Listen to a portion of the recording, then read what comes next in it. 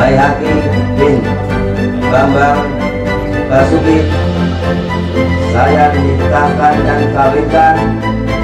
Untuk saya nikahkan dan kawinkan Rizky Khairul Hikmah anak perempuan saya nikah untuk saudara dengan mas kawin seperangkat alat sholat bayar tunai Terima nikah dan kawinnya Rizky Khairul Hikmah binti Bapak Tuliana untuk saya dengan mas kawin tersebut dibayar tunai.